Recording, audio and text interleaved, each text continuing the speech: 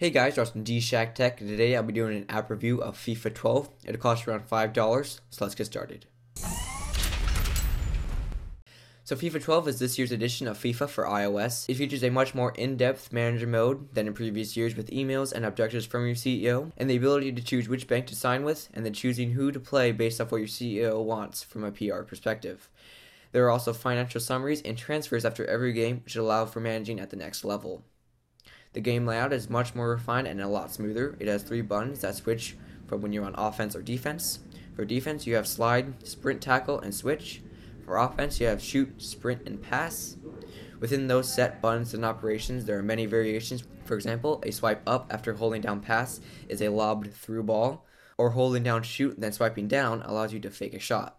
Of course, from last year's, there is still a double tap to do a move. It is a major step up from FIFA 11 with a lot more moves and an increased control of your player.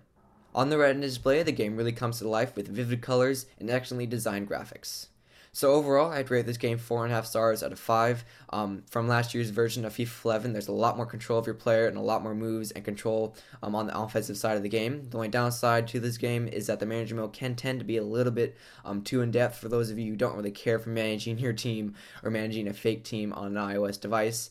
Um, no, another downside to this game is that there is no just regular normal league play like in FIFA 11. There is a quick play option in the home screen, but yet that does not allow you just to do a league play like in last year's. It's just just one simple game.